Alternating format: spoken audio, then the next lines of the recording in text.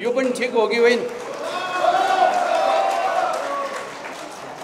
मैले कुनै नौलो कुरा गरिराखेको छैन। ठगीको लुटको भ्रष्टाचारको बेइमानीको तथा नामको सीमा हुन्छ। देशमा यो सीमा नागिसक्यो दाजुभाइ दिदीबहिनी। हो त्यसकारण आन्दोलन जरुरी हो। यो आन्दोलनका लागि दुर्गा प्रसादजीले जो पहल कदमी गर्नुभयो यसभन्दा अगाडि मलाई झापामा पनि बोलाउनु भएको थियो।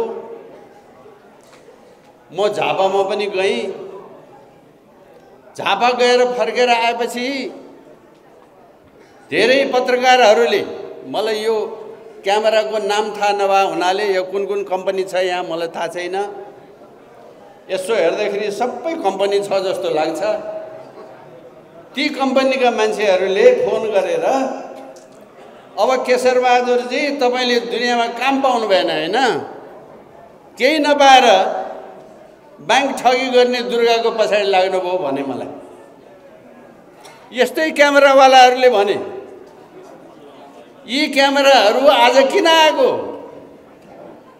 भोलि तपाईँहरूले त्यही भन्ने हो कि साँचो कुरा दुनियाँलाई भन्ने हो? यो कुरा पत्रकारले तय गर्नुहोस्।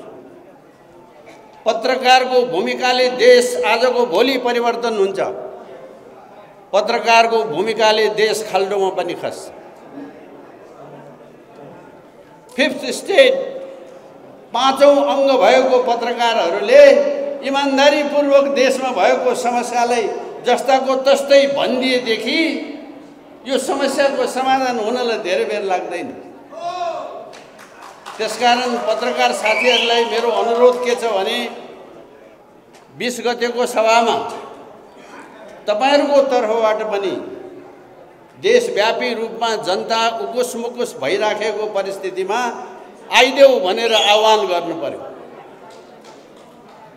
हामी राष्ट्रिय शक्ति नेपालको तर्फबाट मुलुकभरिका हाम्रा सङ्गठनका साथीहरूलाई आह्वान गरेका छौँ।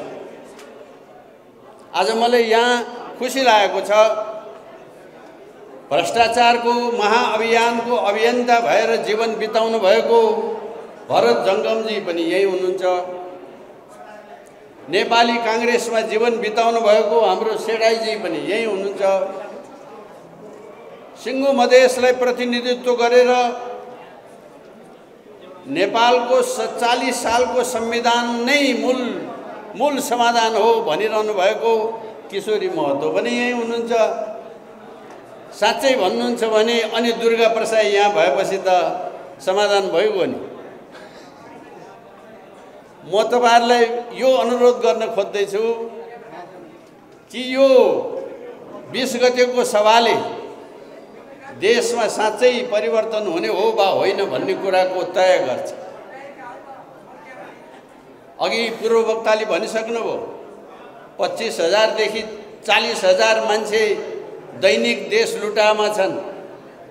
म ठ्याक्कै भनौँ भने छत्तिस हजार चान्चुन छ त्यो गाउँको वडादेखि माथि केन्द्रसम्म। अब लुट्नलाई यहाँभन्दा सजिलो कुरो के चाहियो र? हिजोदेखि त झन् सोह्रवटा मन्त्रालय खाली भयो। मन्त्री बनाउँ भने पच्चिस गतिको राष्ट्रपतिको चुनाव बाँकी छ। नबनाउँ भने सोह्रवटा मन्त्री खाली भयो। त्यस पछाडि फेरि विश्वासको मत लिनुपर्ने भयो। काम नभएको सांसद पनि तपाईँले तिरेको करले पाल्नै पर्यो। तपाईँ हरेक दिन कर तिरिरहनु भएको छ ती गफ गर्ने सांसदहरूलाई पाल्नको लागि।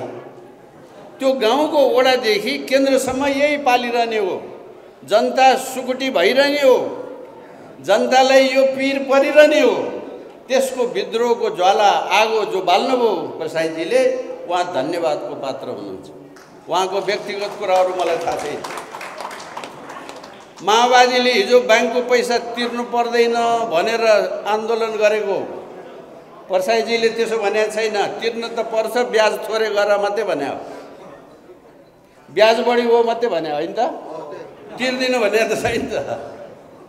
तर हिजो माओवादीले देशभरिका मान्छेलाई झुक्क्याएर अबदेखि ऋण तिर्न पर्दैन ब्याज तिर्न पर्दैन हाम्रो शासन आएपछि सिंहदरबारको एउटा कोठा तिमीलाई दिउँला भनेर कार्यकर्तालाई बाँड्दै हिँडेकै हुन्।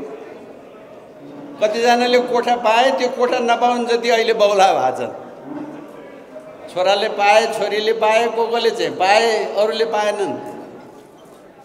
यस्तो भयो देश। त्यसकारण तपाईँहरू जस्तै म मलाई पनि पिर परेको छ। राष्ट्रिय शक्ति नेपाललाई पनि पिर परेको छ। पिर परेकाहरू जति राष्ट्रभक्त जति देशभक्त जति एक ठाउँमा आउने बेला आयो यो एक ठाउँमा आउनलाई को अघि पछिको समस्या होइन? उहाँले महाअभियान गर्नुभयो के को लागि? जनता बचाउ महाअभियान। कला संस् संस्कृति बचाउ महाअभियान। कसले बचाउने हो यो देशमा? कला संस्कृति संस्कृति। जनताले बचाउने हो। जनताको अगुवा को हो? त्यो राजा। अब अब सबै तयारी भयो। पत्रकार साथीहरू पनि तयार हुनुहोस्। बिस गतेबाट अब लाइन लाग्ने हो। साँचो अर्थ साँचो अर्थमा त्यो दरबार मार्ग कुचलाउने हो। अब त्यहाँबाट राजालाई हुल्ने हो। अनि जनता अहिले म हाँसे जस्तै गरी सबैजना हाँस्ने हो। सुखका दिन आउँछन् अब। दुःखका दिन गए। त्यो दुःखका दिन जानका निमित्त प्रसाईजीको जो भूमिका भयो उहाँ धन्यवादको पात्र हुनुहुन्छ। आजलाई म यति मात्र भनौँ। यो अभियान र यो आन्दोलनका लागि राष्ट्रिय शक्ति नेपालको सम्पूर्ण सहयोग छ। हामी झापामा पनि गएकै हौँ भैरवामा पनि गएकै हौँ चितवनमा पनि गएकै हौँ। म आफै गइनँ होला ठाउँ ठाउँमा हाम्रो अभियानका हाम्रा अन सङ्गठनका साथीभाइहरू जानुभएकै हो। नेपालको लागि नेपाली पार्टी जो हामीसँग आबद्ध हुनुहुन्छ उहाँहरू पनि गएकै हो। हामी थुप्रै विचार मिलेका मन मिलेकाहरू एक ठाउँमा आबद्ध भएर यो अभियानमा हिँड्ने हाम्रो पनि कामै थियो। यो काममा उहाँ पनि लाग्नु भएको छ हामी पनि लाग्दैछौँ। सबैले साथ दिनुहोस्। मेरो यही आह्वानका साथ अहिलेलाई म बिदा हुन्छु। पछि फेरि भेटौँला। धन्यवाद। रहेर मैले बोलिरहँदाखेरि म यो सरकारलाई एउटा प्रश्न सोध्न चाहन्छु। आदरणीय साथीहरू आज युवा युवतीहरूलाई विदेश पठाएर रेमिटेन्स ल्याएर देश चलाउन खोजेको हो। यो मेरो तपाईँहरूलाई प्रश्न छ।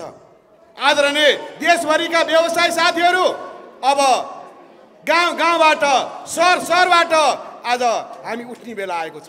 किनभने हिजो हामीले सिङ्गल डिजिटमा ल्याएको ब्याज आज डबल डिजिट भएको छ।